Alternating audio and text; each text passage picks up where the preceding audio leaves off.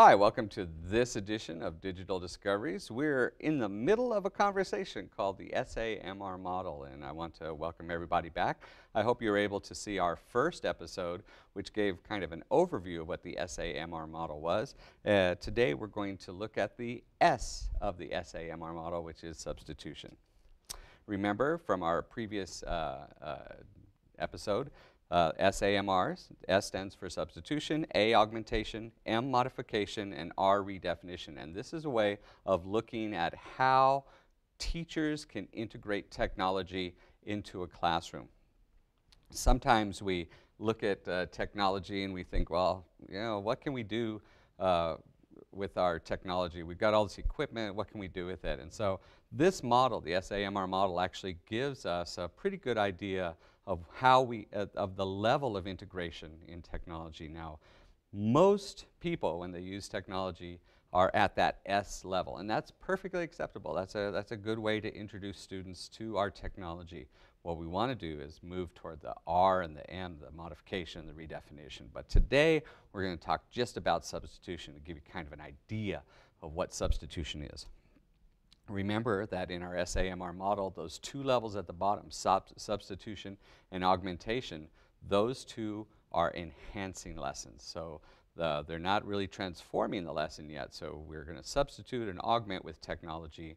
We're not quite up to that transformation part where technology takes that off. And so let's talk a little bit about substitution. What is substitution? What does that mean? Well, if you remember from our first episode when we talked about substitution, what substitution meant was we take something with technology and we use it to do exactly what we previously had been doing with no, no technology. So we're taking an analog lesson, for instance, and we're making it a digital lesson. So let's, let's look at some examples. And when we start looking at this, remember that substitution Technology acts just like the old tool. It's doing exactly what the old tool would do. So I've got this guy looking at us. I love this. I love this uh, picture of this guy. And so uh, we're going to look at some examples with, uh, with our guy here. So I found, uh, as I was walking around some of our uh, campuses, I saw this uh, particular lesson hanging on a wall. And when I looked at this lesson, I thought, well, what is this exactly? Well, I think this was a second grade, first or second grade, maybe third grade, and uh, the student uh, re read a book called Diary of a Wimpy Kid. Um, and what they had to do was, I think they had to write a paragraph or two about Diary of a Wimpy Kid.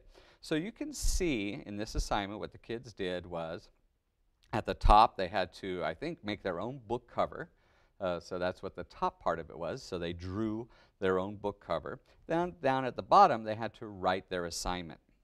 Now, typically, what a student would do is, in this assignment, is that they would draw the top part, they'd draw that book cover, and then down at the bottom, they would write out their paragraph. They would actually write out with pen and paper, or pencil and paper, and they would post it to this. They'd, they'd uh, turn that in.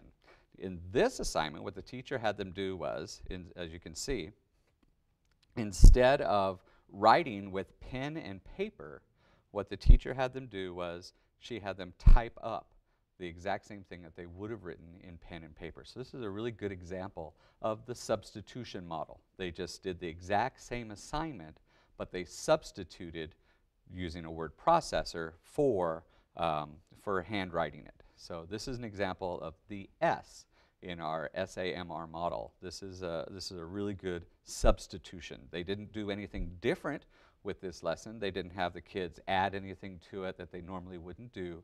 The teacher just had the student take the, what was the original assignment, write out a paragraph, and instead of writing it out, they typed it out. So, so that's a really good example where technology just acts like the old tool. Technology is just doing what we would have done in the past. That's substitution. So let's look at another one here. This is, uh, this is one that um, where students uh, make a bubble map or a mind map. And um, in this case, what they did was they read the book Stellaluna. And so that's what's right there in the center. It's kind of hard to read, but they wrote the, read the book Stellaluna, and I think what they had to do was they had to give some uh, uh, adjectives uh, to describe Stellaluna. And if uh, everybody remembers what Stellaluna was, it's a story about a bat. And so you can see back here on this that the Stellaluna, she, uh, the, the student uh, in, in each one of those uh, bubbles would fill in kind of some description of what Stellaluna was. Well, she can see in the dark, she flies at night, she eats fruit, so that she has long wings.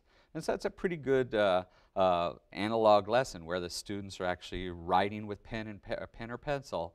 They're just filling in the blanks. So this is a bubble map. Okay, so that's the assignment. Everybody understands the assignment. This is the this is the old way of doing it. This is the traditional way of doing it. And it's a fast way. That's one of the things that people like about pen and paper assignments is that it's very fast to get going. You don't have to take kids to a computer or anything like that.